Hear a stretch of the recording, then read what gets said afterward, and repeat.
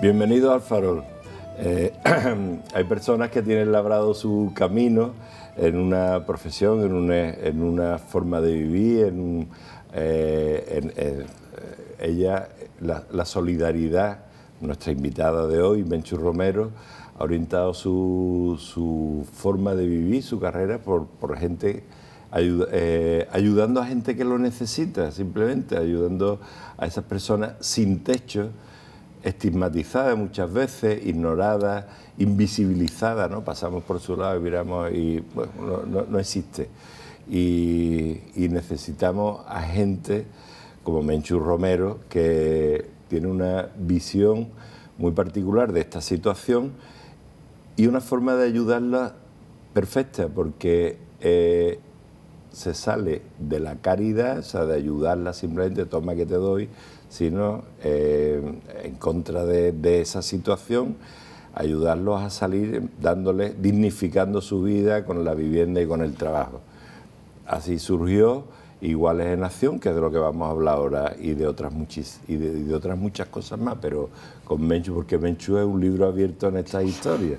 Así que además de, eh, yo no sé si hoy día ya no se puede decir de una mujer que qué guapa es, qué coraje me da, porque enseguida soy un machista, un, pero es que, ¿qué puedo decir de Mencho? Además de que es así, de, por dentro y por fuera. Así que, Menchu, otra vez, bienvenida al farol. Muchas gracias, Salvador. Gracias a ti. También necesitamos gente como tú. ¿Cómo surgió que te traiga aquí al farol? Y, no, hay, y muchas más cosas que tú sabes que tú también colaboras y ayudas mucho con esta realidad. Mira, ¿cómo surgió igual Salió, eh, yo sé que se creó hace un par de años, pero ¿cómo, cómo se te ocurren a ti estas cosas? Es decir, tú estás en tu casa y dices, ¿cómo arreglo yo esto? Tú ya venías de otros proyectos, ¿no? De Lujizal, etcétera, pero de pronto decir, voy a ser iguales en... ¿Qué, qué concepto es iguales en acción? Pues la verdad que surge por parte de una trayectoria, es un proceso que, que, viene de Lujizal precisamente, ¿no? Y de las dificultades que te encuentras de Lujizal, de las barreras, las frustraciones como profesional y mm. como persona trabajando en esta realidad y de, la visión que se tiene también para la hora de ayudar a una persona que está pasándolo mal y que está viviendo en la calle abandonada. Mm. De ese abandono surge también iguales de la necesidad de que ellos también son personas con muchas potencialidades que pueden hacer muchas cosas por salir de su propia situación, que de hecho también deben ¿no? de hacerlo, pero sin embargo no se le ofrece la oportunidad, no existía, no existen muchos recursos, prácticamente ninguno, y menos en esta ciudad, que les pudiera decir, bueno, venga, vamos a hacer algo, tú qué puedes hacer, tú qué quieres hacer, tú qué te gustaría hacer. Y surge de ahí, de la necesidad de, que, de su participación real, de su voz que se escuche no la mía o la de otro técnico que hable por ellos, ¿no? sino que mm. ellos sean los que estén ahí. Eh, Luis Sal al principio, que estaba allá al lado de la catedral, no sé si se acuerdan ustedes, era una especie de, hogar de día, ¿no? de, un, sitio de orientación a estas personas. Ahora, Iguales de Nación es una, una entidad que donde todo el mundo trabaja de tú a tú. ¿Y eso qué significa? Esa, eh, ese, ese trabajar de tú a tú, ese trabajar de igual a igual, eso que le da nombre a la, a la entidad. Si somos iguales en dignidad y como personas, también somos diferentes, ¿no? Y todos somos distintos como seres individuales. Mm. Pero, y tenemos distintos roles, ¿no? Porque hay una persona que a lo mejor lleva el tema de administración, el otro, cada uno intentamos buscar también sus potencialidades, pero funcionamos eh, de manera más cooperativista, ¿no? En el que todos damos y, todos a la vez también recibimos, ¿no? Y es una manera de, trabajar juntos, aprendiendo a trabajar juntos, que no es fácil. Mm. Con ninguna persona trabajar en equipo es fácil y con personas que tienen situaciones tan complicadas como incluso vivir en la calle no es fácil, de hecho la asociación se crea también con personas con las cuales llevo muchos años trabajando, de venir de atrás y que hoy por hoy a lo mejor su realidad ha mejorado o ya han pasado a vivir en una vivienda por sus propios medios, por ayuda a otros recursos, por ayuda con este ayuntamiento también de la ciudad. Eh, y han podido dignificar y, tener una situación de tener sus necesidades básicas medio cubiertas. Pero sin embargo le falta el empleo. A lo mejor ya han tenido techo, no vivienda, o no hogar, perdón, han tenido vivienda, pero el hogar es mucho más profundo, pero no tienen recursos para pagarla y dependen al final de que o una entidad como la nuestra o un servicio social le colabore, porque también requieren otro tipo de intervención, de acompañamiento y sobre todo lo que ellos demandan es empleo o vivienda, vivienda y empleo. Y están metidos en un círculo vicioso, o sea, es difícil contratar a una persona que está estigmatizada, decir, eso es un sin techo, o sea, está, es marginal, ¿no? no Yo no voy a dar trabajo a este que está ahí tirado en la calle y, como está tirado en la calle, pues no, puede, no, tiene dinero, para, no, puede, no tiene trabajo, no tiene dinero y, está metido en un círculo del que es muy difícil de salir. Todo es una pescadilla que se muerde la cola y sobre mm. todo es que cuando tú no tienes techo, cuando tú no tienes vivienda propia, tú no tienes un cuarto de baño, tú no tienes la posibilidad de ducharte diariamente. Por lo tanto, el, hábito de limpieza, el hábito de higiene es algo que se pierde muy fácilmente en la calle, mm. más la dificultad emocional te hace también tan, tan mal con esta situación que te preocupa poco tu, tu aspecto físico y eso conlleva un rechazo por parte de las personas, que si mm. suciedad, que si y provoca o miedo a algunos o provoca una situación de exclusión porque físicamente no está igual que tú. Entonces, claro, a la hora de buscar empleo el que busca empleo, si no tiene ni siquiera para ir dignamente los servicios de limpieza en esta ciudad.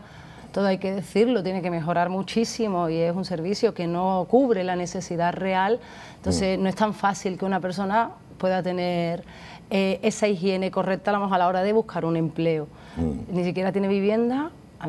Entonces todo es una pescadilla que se muerde la cola. Por eso para nosotros lo primero es la vivienda y trabajamos desde ahí también, ¿no? el housing first, que le llamamos, que es una filosofía más novedosa en el que lo que ofrece es lo primero lo que más necesitas, tu mm. sitio, tu espacio, que no es el techo exclusivamente, tu intimidad, tu intimidad mm. tus derechos como ciudadano y, y tu espacio vital.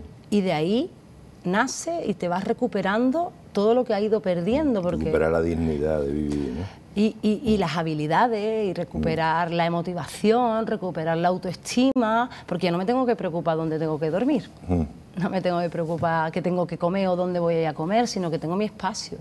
Y eso es que lo cambia todo, es magia.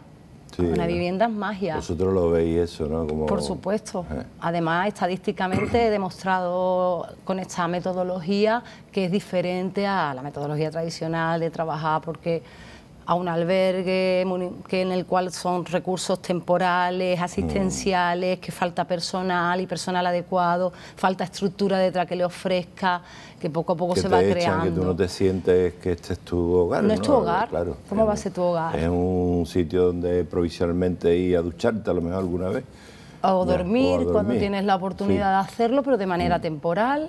Cada vez se va alargando más, cada vez tienes más mm. oportunidad de estar más días, pero no es tu casa. ¿Y dónde estáis ahora? ¿En qué punto estáis? ¿En Iguales en Acción? Pues de mucho trabajo, de muchas cuestiones. Nuestro objetivo son dos, ¿no? la vivienda y el empleo. El empleo desde el autoempleo. Estamos intentando crear ese proyecto de economía social y economía circular. ¿Qué significa eso de cuando habláis eh, económico? Porque eso eh, desde fuera es difícil. Mm. Economía circular es una economía, es un proyecto y una una filosofía preciosa que tenemos que apostar todos por ella y que de hecho el gobierno a nivel europeo está apostando fuertemente porque sabe que es la, salida y la necesidad de este planeta. Mm. Lo que consiste un poco que hemos tenido la cultura y todo, toda la economía y todas las empresas y todo el consumo, el consumismo nos ha llevado a comprar, usar, tirar. Y eso es mm. una línea. Entonces mm. la economía circular, como su nombre indica, lo que busca es que fabricas de materia mm. prima, que usas y cuando se estropea no se tira y se quema y contamina al planeta, sino que se reutiliza y se pone otra vez en el mercado. Va hasta lo máximo, es que una mesa, por ejemplo, la hagamos con material biodegradable, que cuando mm. se autodestruya y vuelva a la tierra. Esa es la máxima de la economía circular, ¿no? Mm. Pero sobre todo la reutilización, por ejemplo, de un móvil se te estropea y ¿qué mm. hacemos con ese móvil?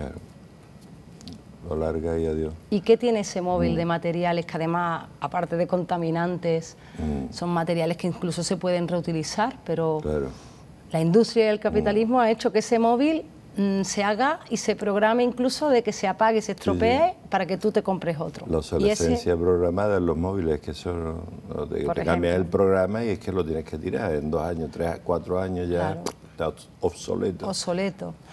Y eso es un mm. material, una materia prima, que eso vale un mm. coste económico y que eso se puede reutilizar. Con los plásticos ya ni te, ni te hablo, que eso es, un desastre absoluto, ¿eh? lo de los plásticos, no nos damos cuenta.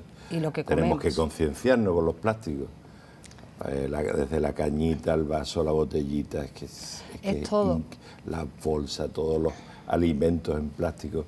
Y la gente de la calle está más concienciada con esta economía circular de alguna manera, ¿no? Porque eh, tienen que a la fuerza que reutilizar, ¿no? Lo que o, tienen más en cuenta ¿no? estas cosas. Eh, a lo mejor no ha sido una conciencia medioambiental propia adquirida por filosofía de planeta, sino por necesidad pura y dura. Son expertos recicladores porque tienen que vivir de la basura, tienen que mm. vivir hasta de las colillas del que fuman, lo mm. coge de la calle.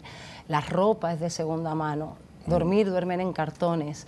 Por lo mm. tanto, siempre están reutilizando, ¿no? Mm. Lo que pasa es que no tienen los medios, pero viven con lo que encuentran de la basura, con lo que le dan. esa idea más clara que la tenemos nosotros, que es el hecho de eh, lo tiro.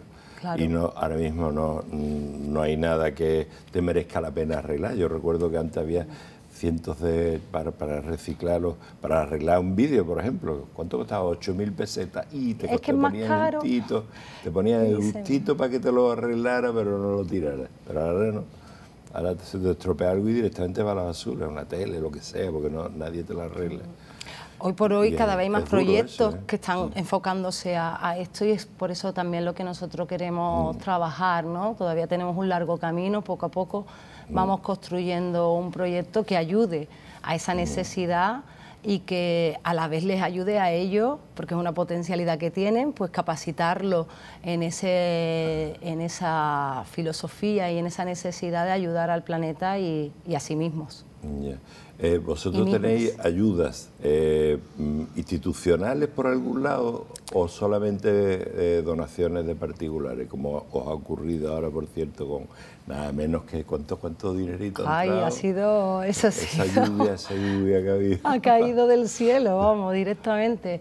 Han sido 25.000 euros. 25.000 euros, no veas. 25.000 euros que nos ha donado un grupo como Metallica en el cual fue una sorpresa. Metallica es un grupo heavy, ¿no? de, de, rock duro, ¿no? De, rock. Y ya ves qué, qué, cosa, ¿eh? Y, y Metallica, ellos, ellas no echaron, ellos no echaron una solicitud, como se dice ahora, a ver si Metallica les daba dinero, o como se hace ahora con el de Zara, no, oye, dame, dame dinero, ¿qué va a hacer? Sino que fueron ellos los que encontraron a iguales en acción. Es bonito eso, ¿eh? Sí, por eso fue la sorpresa de decir, ¿cómo Metallica? Eh, ¿Y esto cómo es posible? Qué cosa, ellos nos conocieron por las redes sociales mm. porque ellos tienen una fundación en California, que son el grupo, eh, que se llama All Within My Hand, todo con mis manos, mm. y cada vez que hacen un concierto fuera de su país, eh, donan un euro de cada entrada y claro, un concierto como el que nos tocó a nosotros en Barcelona, junto a Calor en la Noche, con otra entidad de Cádiz, a la que fuimos mm, premiadas ¿no? con esta ayuda, eh, nos conocieron por las redes sociales porque ellos buscaban siempre entidades de personas sin hogar. Ah. El año pasado se lo donaron en España a otras entidades grandes y este año decidieron donárselo a entidades pequeñitas como la nuestra, que están ahí luchando y que pocas donaciones tenemos y menos como esta, muy poca ayuda realmente, al no ser que estemos moviendo mucho y subvenciones y solicites, todavía no nos tenemos un capital económico para nada fuerte, pero una ayuda como esta hace que podamos respirar, porque las viviendas que pagamos son 500 y pico, 600 euros al mes. Eso es mucho dinero para una entidad tan pequeña. Entonces una ayuda de este tipo nos levanta, por lo menos, que el dinero se va rápido, ¿eh? Que parece mucho, pero nuestro proyecto es caro. Y pero nos ayuda, nos ayuda. Vaya, vaya respiro. Oye, ¿y os ha servido de promoción por al mismo tiempo? Porque me imagino que la gente ha dicho, ¿a quién le ha dado Metallica qué? ¿Y por qué? ¿Quiénes son esta gente? ¿Qué, os distingue del resto?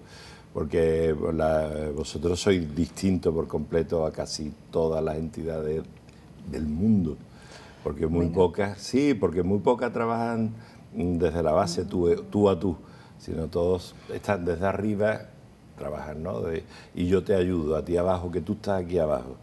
Yo desde mi poder, desde mi dinero, desde mi entidad de manejo panoja te ayudo a ti. Desde la caridad. Pero tú, pero tú sigues aquí abajo, espérate que yo sigo aquí arriba. Y vosotros estáis todos abajo, o arriba si queréis. Sí, que también tenemos que aprender a trabajar muchas cosas, ¿no? Porque... Es muy nuevo este proyecto, es lógico que tengáis que aprender, pero bueno tenéis toda la vida por delante, sobre todo tú. Y además, por cierto, tú ves más proyectos metidas, ¿no? Porque tú, no hay, es, que no hay, es que no hay quien pare a Menchu Romero. no hay soy quien la pare. soy artible. No hay quien la pare. Ahora está la Cruz Roja haciendo qué? Hay un programa precioso, Salvador. Yo estoy súper motivada, me encanta. Es un programa súper necesario. De hecho, yo siempre he trabajado mucho las tecnologías también con las personas sin hogar, porque creo que, que es una herramienta de inclusión social necesaria y de socialización, de ponerse en contacto con su familiar a través del Facebook, de haberse encontrado muchísima dinámica. que, las personas que no tienen recursos para aprender a manejarse con las redes sociales que hoy día o con la tecnología con la tecnología en general. sí las redes sociales es una parte no la, manejar un móvil, el entrar, en, entrar en internet a buscar, por ejemplo, ¿no? El rellenar un, porque ahora te dice Hacienda, lo que sea, todo, usted tiene, que, tiene que resolverlo a través de la red. Y tú dices, yo soy un inválido en ese aspecto. Claro, y este programa precisamente ofrece, con una red de voluntariado de Cruz Roja amplia, el sentarse contigo con tiempo y dedicación a enseñarte lo que tú necesitas, mm. adaptado a tu necesidad de lo más básico de la ofimática, encender el ordenador, mm. a hacerme un currículum vitae, porque ya toda la búsqueda de empleo es mm. a, través de internet, ya no te mm. recogen un currículum, ya es, mándame un correo electrónico, y si yo no sé mandar un correo electrónico o no sé meterme en internet a buscar el correo electrónico de la empresa a la que se lo tengo que enviar, pues me quedo detrás y eso provoca exclusión. E, e, incluso, e inclusión social y laboral. ¿no? Entonces, este programa ayuda a eso, de lo más básico, en el tema de empleo, que es algo fuerte, a todas las gestiones administrativas con Hacienda, sacarte la cita al médico, mm. a manejar el móvil, sacarle partido, a también el riesgo y la seguridad de Internet, de educar para proteger a los menores, el ciberbullying. Que, tu niño no se meta en la historia. hay problemas muy gordos de acoso y de dificultad, a lo más tecnológico de la robótica. Yo ahora estoy trabajando y poniendo en pie tema con Andalucía Compromiso Digital, el tema de drones, que además es una chulada y para trabajarlo también con jóvenes que, y capacitarlos también para profesiones del presente. Que ya no es futuro, es que hoy por hoy se requieren ya contratar, hay mucha oferta. Estamos perdiendo un tipo de trabajo, pero estamos abriendo otras, ofertas laborales actuales en la era digital, pero sin embargo no tenemos los conocimientos y la capacidad ni las personas formadas, entonces este programa ayuda a eso. Muy bien. Así que me encanta. Pues nada, en fin, eh, Mencho, está Mencho Romero disfrutando de su trabajo, que ha conseguido eh, disfrutar de su trabajo, tener trabajo, por supuesto, porque es importante tener trabajo, pero, pero mm, tan importante o más tenerlo de lo que le gusta y disfrutar con su trabajo. Qué alegría, Mencho, escucharte. Así que bueno, vamos con el programa. Tú sabes que te vamos a contar cinco historias, de las cuales una es un trolazo, tú ya te lo conoces porque ella ha repetido en esto más de una vez. Que nos encanta, ya vista yo aquí. Nos ¿eh? encanta traer a Menchu. Quiere que le diga. Muchas gracias, a mí también me encanta venir. bueno, pues la primera historia nos la va a contar nuestro amigo Salva Santos. Ya saben ustedes, Salva Santos tiene un programa magnífico de, historia aquí en Onda Cádiz, se llama Zona Historia, que lo pueden ver ustedes los domingos, aparte de eh, en la radio, los podcasts, en fin, que un personaje salva tremendo, con un carisma para comunicar y mm, aprovechamos que está aquí por aquí por la tele para que nos cuente algunas historias. Hoy nos va a hablar de la Fundación de Tiro. Tiro. Mm, mm, tiro. Tiro. sí, de la, esto de la, las primeras ciudades fenicias que se fundaron. Eh, eh, se supone que, lo, que Gades, la, la, Gades fenicia y todos los la jadeira y todo eso la descubrieron los de Tiro que, que habían aprendido a navegar ellos fueron primeros los que vinieron aquí, aunque esto estaba ya habitado. Cuando llegaron los de Tiro había ya, estaban no los neardentales, estaban ya los sevillanos en las playas. Se encontraron todo lleno de sevillanos. Pero bueno, vamos, vamos a dejar salva, venga, a ver cómo se fundó Tiro. Muy buenas, hoy vamos a hablar de la fundación de una de las ciudades que dieron origen a la nuestra. Y es que hablemos, hablamos mucho de la fundación de Gadir, que si los fenicios, que si vienen por un oráculo, que bla, bla, bla, que el templo de Melcar. Pero claro, pocos nos hemos preguntado o poco conocemos en Cádiz la fundación de nuestra metrópoli, es decir, de Tiro, la ciudad de Tiro, allí en, en lo que hoy día es la costa del Líbano. Y la fundación de Tiro es, vamos a decirlo, una paranoia. Es un cuento, claro, que, que es hasta increíble. Y viene a decir así en resumen. Y es que Melcar, que estaba aburrido, eh, pues se le aparece en sueños, en un oráculo, en un sueño, se aparece a unos hombres primigenios que había allí en la costa, allí en la costa por allí por el Líbano, y le cuenta lo siguiente, mira, eh, todo esto es un sueño ahí, ¿eh? mira, os vais a levantar, vais a construir el primer barco de la historia, que es muy importante para los fenicios los barcos, lo vais a construir de un árbol que hay ahí. Os vais a tirar al mar, cuando veáis dos islas que flotan, son las piedras ambrosianas, cuidado con el nombre, dos islas que flotan por ahí y dan vueltas, encima hay un olivo que tiene una serpiente enroscada, una vasija de muy bella factura. Encima del olivo hay un águila. Bueno, pues tenéis que ir a la isla esa, el águila tenéis que cazarlo y sacrificarlo en honor mía que soy Melcar entonces las islas se unirán y conformarán una. Y allí me vais a poner el templo y vamos a construir una ciudad con grandes murallas. Y se va a llamar Tiro. En verdad no Tiro. O sea, no es que no tire, sino que se va a llamar Sur, porque en fenicio Tiro es, se llama Sur. Luego serán los griegos los que varían el nombre. Y significa piedra, roca, como las islas, ¿no? Como las rocas ambrosianas. Bueno, pues este mito tan raro, paranoico y que por lo que se ve es la fundación de Tiro, se volverá a repetir más o menos aquí con la fundación de Gadir, con las islas, con el sacrificio que se le hace al dios, con el templo que se funda en, en la isla de lo que sería Santipetri y con otros parámetros más que vamos a comparar, pero luego en un futuro. Así que ya sabéis, el mito de Gadir es una verdadera paranoia entre serpientes, un olivo, un águila que se entrega y que sacrifican para que dos rocas que van flotando por ahí se unan y forman lo que hoy día es eh, pues la ciudad de Tiro. Bueno, Fundación de Tiro. Es curioso, ¿eh? Como todas las leñas de A mí me, me llama mucho la atención cómo se saben estas cosas que ocurrieron hace 3.200, eh, por lo visto, la fundación de Tiro hace 3.000, dicen de 3.200 a 4.000 y pico de años, depende de, de quién te la cuente.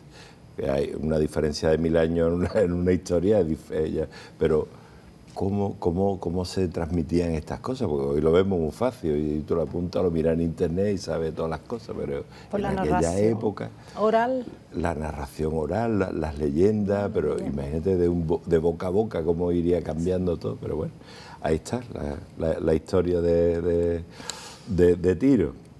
Bien, no la, no la creeremos por ahora, ¿no? ¿O no? No sé, bueno, la dejamos ahí. Vamos. a escuchar las cinco. Vamos a ver las demás, de qué pasa. vamos con José María Esteban, eh, arquitecto, ¿sabes? No? Que ha, intervenido en muchísimos proyectos en esta ciudad, muy interesantes. Por ejemplo, el Pópulo, en la, entre otros, en, la rehabilitación del Pópulo, los, cuarteles de por allí de, la Alameda, todos toda aquella zona era de, cuarteles. No sé si tú recuerdas los cuarteles ya de pequeñita, cuando ahora ya pues, está filosofía, está eh, el aulario de la bomba, el gobierno civil ya no es gobierno civil, ya es... Son, eh, gobierno civil trabajó mi madre cuando chica, cuando llegó a Cádiz, que era de Medina. Y sí, me acuerdo. El gobierno militar, militar perdón. Militar, gobierno militar. Muy bien, bueno, pues ¿qué pasó con los cuarteles de, artillería? Eso es lo que nos va a contar José María Esteban ahora mismo. Venga, vamos a escuchar. Bueno, hoy nos cabe la alegría de hablar de unos edificios muy importantes en esta ciudad que pasan desapercibidos por ser de la universidad, pero son edificios en los que, eh, por mi condición anterior de jefe del área de infraestructura y arquitecto de la universidad, he trabajado mucho y los quiero mucho. Todo el frente norte de los, cuarteles de artillería que pasaron a ser de la universidad ¿eh? gracias a la oferta que hizo el alcalde democrático Carlos Díaz de la primera parte de la democracia. Son unos edificios bellísimos y bueno, creo que vamos a tener posibilidad de enseñaros el interior de cada uno de ellos, pero todo este frente es el edificio final que los, militares terminan cuando casi toda la parte norte de, Cádiz pertenece a los militares, incluso antes de, ser el Parque Genovés. Los militares van incluso vendiendo parte de sus terrenos, que fueron el mentidero, que fueron las casas que se hicieron en, la, zona de San Antonio para acá, de la Plaza San Antonio para acá, incluso el Baluarte Candelaria para acá, todo era terreno de los militares donde ellos hacían su, su batallita y su entrenamiento y sus desfiles y su historia. Pero poco a poco la ciudad va apretando, el crecimiento urbano de la ciudad va apretándolos poco a poco y al final se quedan casi con este cinturón, un cinturón que mira al mar, fantástico, y donde queda algo de espacio que luego es comido por el Parque Genove, como hemos dicho. Hay que hacer aquí eh, muy acento en dos grandes, sobre todo uno, que es el ingeniero militar don Ignacio Salas Garrigo, que es un ingeniero militar al que le debemos muchísimos de los edificios que se hicieron en esta ciudad, pero no solo en esta ciudad, sino en casi toda España. Es un arquitecto que nace en Lérida, en un pueblo, Irigó, de, Lérida, y que eh, él empieza a ser, desde muy joven como ingeniero a hacer planos y de eso. De hecho, la fábrica de tabaco de Sevilla tiene la planimetría básica de Ignacio Sala. Posteriormente también en Aragón, en la zona de Valencia, en la zona de Madrid, y aquí en Cádiz fundamentalmente las fortificaciones de puertas de tierra, las defensas de puertas de tierra, tiene mucho de las trazas y de la mano de Ignacio Salas. Ignacio Salas es de los mejores ingenieros militares que han pasado. Él nació sobre finales del siglo XVII ¿eh? y muere en el último, en el, tercer, el segundo tercio, tercer tercio de, tercer tercio del siglo del siglo XVIII, ¿no? 1700 y pico. Los edificios que vemos aquí, todo el frente de cuarteles de artillería de Carlos III, estamos en la avenida de Carlos III, están hechos por él ¿eh? y terminados en el siglo XX en su fachada, puesto que si vais a la maqueta veréis que el edificio que idea Ignacio Sala son dos edificios mellizos, uno que es este y otro que, le hemos llamado siempre el cuartel de la bomba, donde con dos edificios que dedica a vivienda de suboficiales, mete a la tropa intermedio y también a los almacenes y todos los pertrechos que tiene que tener la universidad, que tiene que tener los cuarteles de artillería. Es un bellísimo edificio neoclásico con doble portada de ingreso, con unos accesos posteriores en los cuadrantes de los, edificios de vivienda y se repite todo también en el cuartel de la bomba. Es un edificio, son dos edificios que pertenecen a la universidad casi en su completa definición. Bueno, algunos de los elementos se van cogiendo como el eco, el cuartel del eco, se, parte como espacio de equipamiento cultural de la ciudad, pero todo esto es el gran edificio que quería Carlos Díaz dedicarlo a la Universidad de Cádiz. Yo creo que se pensaba al principio que pudiera pensarse en que la Universidad de Cádiz se quedara exclusivamente en esta ciudad. Fue una lástima que se fuera en realidad la universidad, pero bueno, ahí nos quedan por lo menos esos, por lo menos esos reductos ¿no? de la universidad, desde la Facultad de Medicina, el Aulario de la Bomba, Filosofía y Letra, tal, que están ahí en los cuarteles muy bonito, por cierto. La, Hasta Reina Sofía, incluso ahora me acabo de enterar. está cogiendo la universidad toda esa zona, haciendo un cordón universitario mm. que también es muy necesario ¿no? en esta ciudad.